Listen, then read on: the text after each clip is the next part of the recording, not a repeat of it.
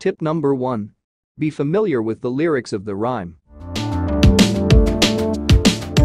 Have a look at the lyrics on a paper and read it a few times. Tip number 2. Say the words correctly while reading and singing.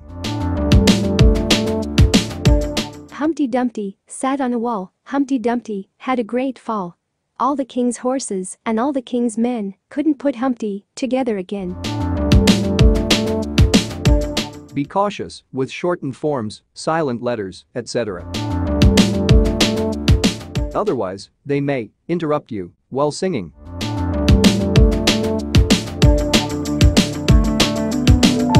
Often, words like and, and, the, etc. are minimally pronounced in rhymes, so they are hardly heard.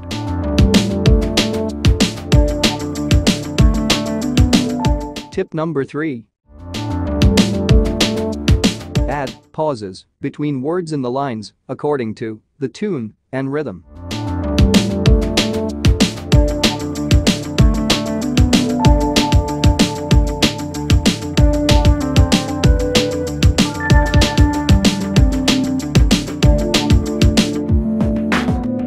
Tip number 4. The lines slowly a few times with pauses and then apply tune and rhythm. Repeat until you get familiarized. Now, start singing. Once you know how to add pauses between words in a line, then you would find singing quite easy. Now, would you like to try with a few other examples? Miss Polly had a dolly.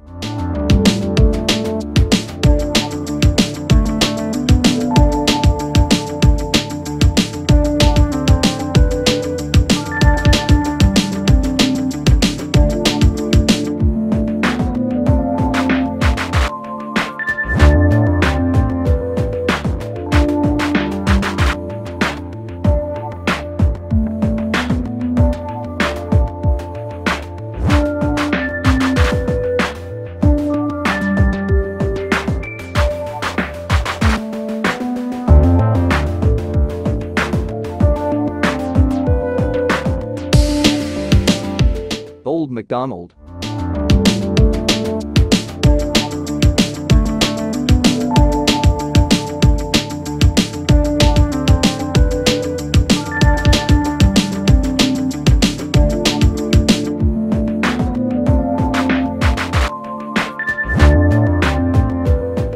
Yankee Doodle.